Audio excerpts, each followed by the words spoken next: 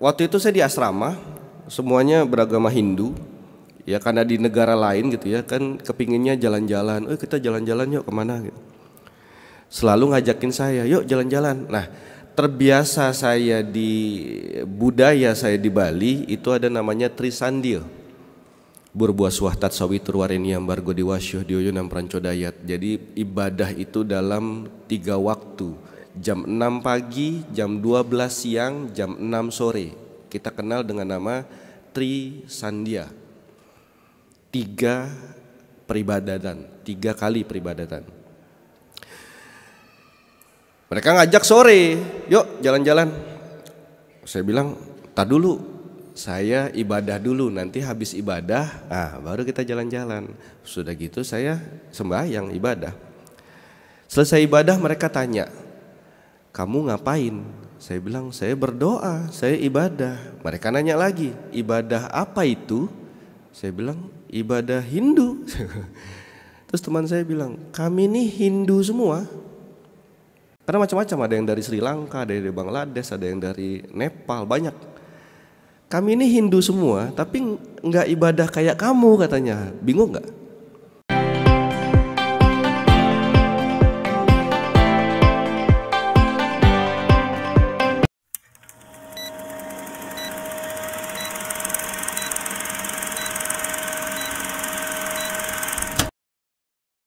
Saya berpikir gini, kalau agama dari Tuhan, kenapa berbeda? Bapak Ibu sekalian, tahu tidak Hindu dari mana? Rahasia umum nih, Hindu dari mana? India. Coba sebutkan hari raya Hindu yang ada di Indonesia. Galungan, Nyepi, Waisak Buddha Kuningan Rasulullah Said apalagi ada sekitar 30-an tapi semua hari raya Hindu yang ada di Indonesia tidak ada satu pun yang dirayakan di India. Dan tidak ada hari raya Hindu di India yang dirayakan di Bali. Jangankan Bali dengan India jauh Bali dengan Tengger Jawa Timur dekat tuh. Beda. Bali uh, Hindu yang ada di Bali dengan Hindu yang ada di Jawa Tengah, Hindu yang di Lampung, Hindu yang di uh, uh, Banjarmasin, Hindu yang ada di Samarinda, Balikpapan, beda semua. Saya logika gini, satu kelas banyak siswanya dikasih pertanyaan satu, dikasih soal satu, tapi setiap siswa jawabnya beda-beda, suka-suka dia saja. Kira-kira yang benar yang mana, yang lulus yang mana? Itu berbeda dengan Islam. Umat Hindu, rata-rata umat Hindu tidak boleh baca kitab sucinya. Tidak boleh. Kecuali dia sedang belajar atau menuntut ilmu tentang Weda. Kalau umat Islam sama tidak? Sama tidak? Sama. Kalau umat Hindu tidak boleh baca kitab sucinya, kalau umat Islam kitab sucinya banyak tapi enggak dibaca. Dikasih tahu sama ustadznya one day one jus. Wah kebanyakan ustadz. Baca WhatsApp 5 jus dia.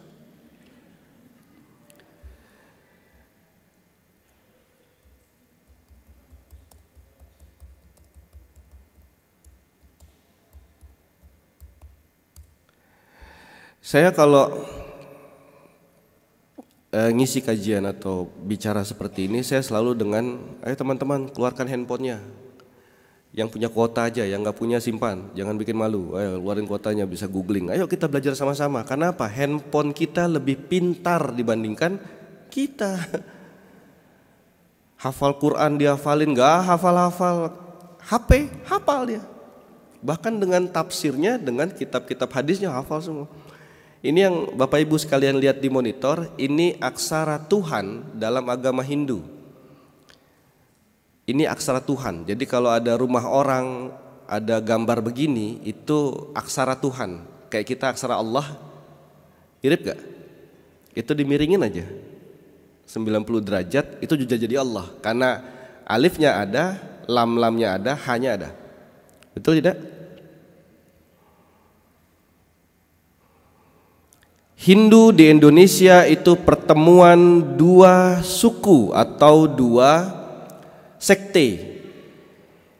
Dari mana? Hindu Brahmana dengan Buddha Narayanam. Jadi Hindu yang ada di Indonesia dan yang mereka ajarkan awal-awal Hindu ada di tanah kita adalah saya lupa namanya lagi.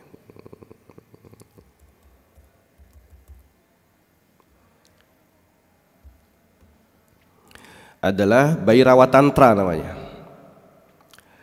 Bayi Tantra. Masih ada nggak sampai sekarang? Masih. Kalau kita kan kenal rukun Islam, rukun iman, betul? Nah ini rukun rukun Islamnya ya, begini. Apa itu? Nanti saya jelaskan.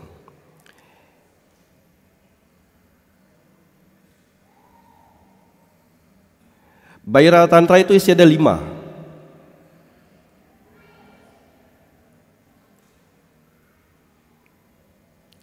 Lihat. Bayi Tantra merupakan bentuk sinkretisme dari Siwa dan Buddha. Berfungsi untuk menjaga kewibawaan penguasa. Maka dari itu Hindu mengenal ada namanya kasta, tidak bisa dicampur. Hei kau orang rendahan. Kamu tidak boleh bercampur dengan Yang kastanya lebih tinggi. Saya satria. Satria itu eh, kedua. Kasta kedua. Karena kasta pertama itu kasta pendeta. Kasta pertama itu dari ibu saya. Kasta kedua itu dari ayah saya. Jadi saya karena di Hindu Bali itu patrilineal Mengikuti garis keturunan ayah jadi saya ikut bapak. Baca nggak? Ritual seks bebas. Kayak kita baca siah ya. Sama. Karena mereka lakukan ini. Itu satu. Dibolehkan? Boleh. Silahkan. Monggo. Lanjutkan bayi rawat tantra. Kemudian yang kedua itu adalah wah ini nggak lengkap ini.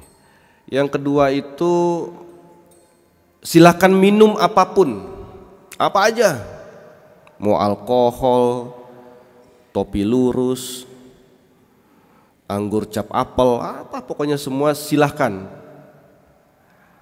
Silahkan makan apa saja.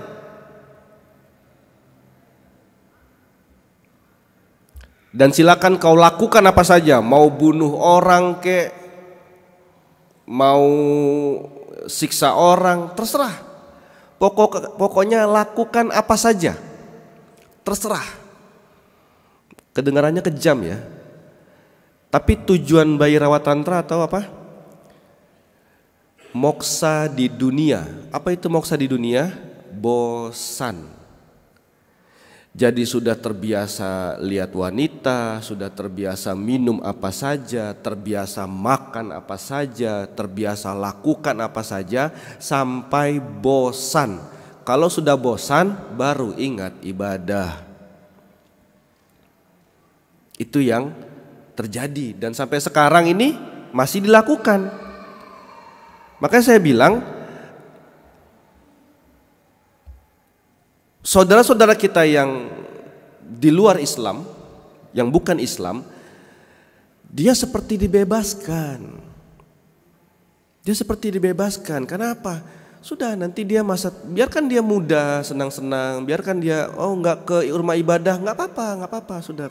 Oh dia pacarnya sana sini apa segala macam. Ah biarkan, biarkan. Harapannya apa? Dia bosan. Kalau sudah bosan jahat, sudah bosan bebas, sudah bosan melakukan apa saja, sudah bosan dunia, nanti dia cari Tuhan sendiri. Itu masih diwariskan sampai sekarang dari zaman dahulu. Coba saya ketik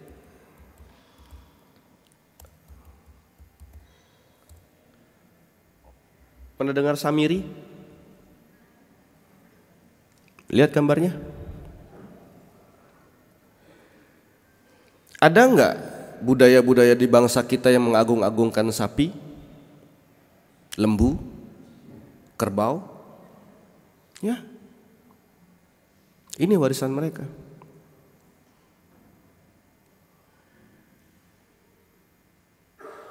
Dan mereka masih bilang saya bukan berasal dari agama pagan. Saya nggak setuju sekali kalau ada istilah agama samawi itu nggak ada. Nggak ada agama samawi, agama Yahudi, Nasrani, Islam, eh, nggak ada. Islam hanya satu agama yang turunkan Allah, Islam. Siapa yang membawa Islam? Siapa yang membawa Islam? Kalau ada yang jawab yang bawa Islam adalah Nabi Muhammad Rasulullah SAW itu salah besar. Kalau agama Islam yang bawa Nabi Muhammad, Nabi Adam apa agamanya? Nabi Nuh, Nabi Soleh, Nabi Musa, Nabi Daud, Nabi Isa. Bahkan syariat solat itu pun bukan Rasulullah SAW yang bawa. Solat lima waktu iya, tapi pekerjaan sholat, pekerjaan para nabi, pekerjaan para rasul. Mau bukti? Kita buka, coba yang punya HP, buka surat Maryam.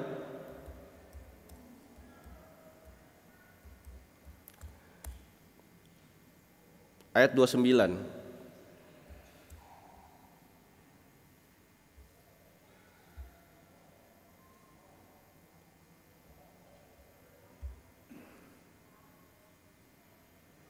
Sudah ketemu?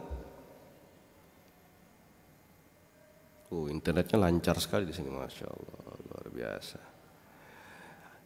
Qala Isa, aku Isa. Isa berkata,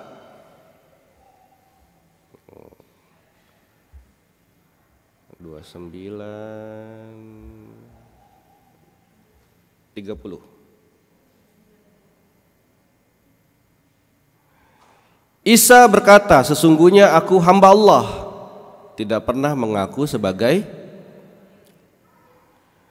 dia memberiku kitab Injil dan dia menjadikan aku seorang nabi. Tahu nggak ini Nabi Isa alaihissalam mengucapkan ayat ini pada saat umur berapa? Umur berapa? Satu hari. Pada saat Sayyidah Maryam difitnah, dicaci, dibilang penjinah. Maryam diam. Tapi yang menjawab siapa?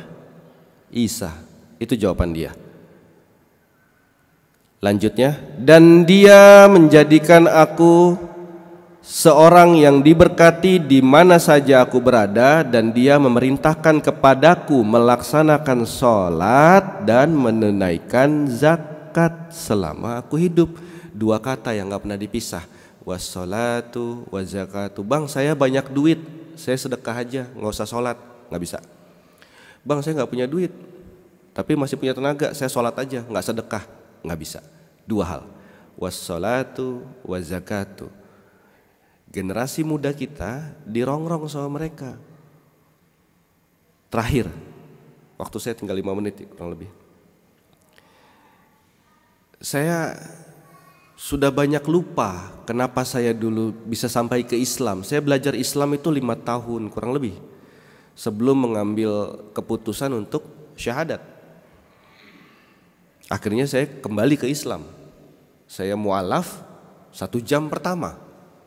Jam berikutnya bukan mualaf lagi.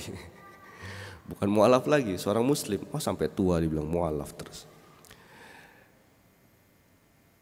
Tapi begitu saya belajar tentang Islam, belajar tentang Al-Quran, kebenaran semua ada di situ. Baru buka kitabnya sudah berbunyi, sudah tulisannya seperti ini. Zalikal kitabul raiba fi hudallil muttaqin. Tidak ada keraguan di dalam Al-Quran. Ada buku seperti itu. Seorang profesor S9 saja ini udah di atas S3 ya, S9 saja. Kalau nulis buku itu selalu ada prakata seperti ini. Buku ini masih jauh dari sempurna.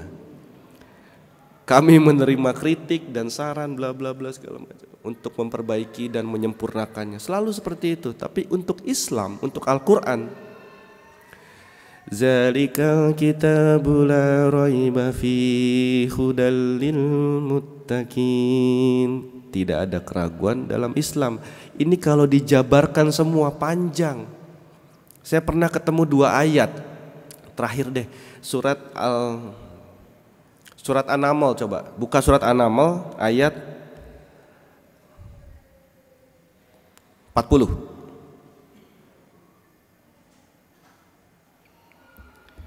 Surat An-Naml ayat 40.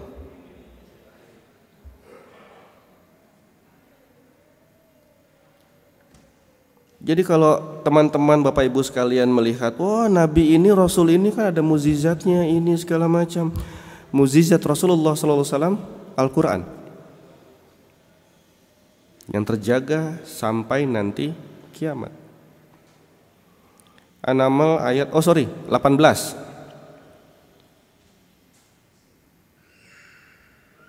Saya bacakan artinya langsung ya. Apabila mereka sampai di lembah semut kota Taif di negeri Syam yang dimaksud adalah semut-semut kecil dan semut-semut besar. Berkatalah seekor semut. Qalat namlatui bahasa Arabnya semut namal. Itu ayat itu kata yang disebutkan namlatui Ya ayyuhan namludkhulu Itu namlatui yang disebutkan. Qalat namlatui Berkatalah seekor semut. Hai semut-semut masuk sarangmu Sebelum terinjak-injak pasukan Nabi Sulaiman. Betul? Kebaca semua? Namlatui itu artinya semut betina semut betina. Ilmuwan abad 21 baru tahu kalau kawanan semut yang mimpin ratu semut betina. Coba satu lagi, buka surat An-Ankabut ayat 41. Sebentar, sebentar.